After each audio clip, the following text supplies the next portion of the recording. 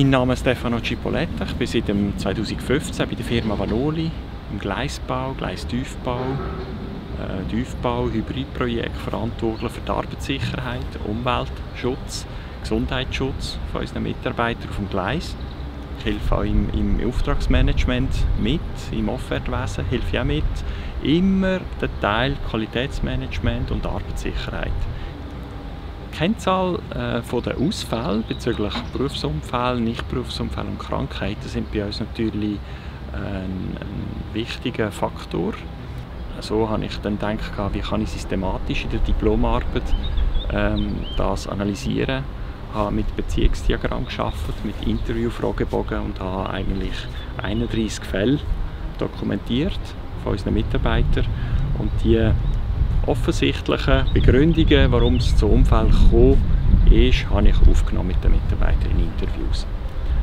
Und das sind die klassischen Unfälle, die man im Bau hat. Stolper, Prellungen, Fingerverletzungen und all diese Themen hat man thematisiert mit den Mitarbeitern.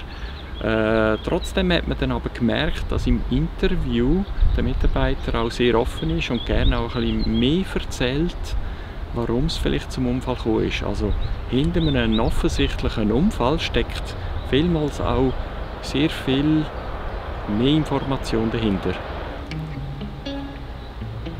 Das Beste am Ende, es ist eigentlich von mir aus gesehen, das ist vielleicht jetzt ganz lustig, ist der Kontakt Die Zusammenarbeit auch zu den anderen Kollegen, die ich kennengelernt habe in der Schule.